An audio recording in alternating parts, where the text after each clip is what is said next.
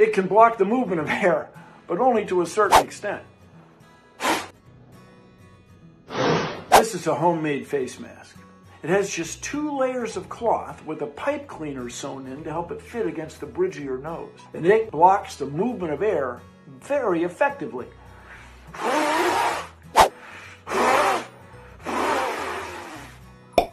If you're wearing one of these, you're protecting yourself and those around you. Here's an N95. These are made to block particles in the medical environment and when you're out mowing the lawn. This one's not sterilized, but it's pretty effective.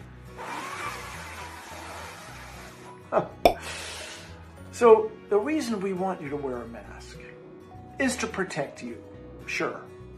But the main reason we want you to wear a mask is to protect me from you and the particles from your respiratory system from getting into my respiratory system. Everybody, this is a matter literally of life and death. And when I use the word literally, I mean literally a matter of life and death.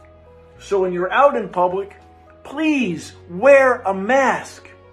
Thank you for joining me on Consider the Following.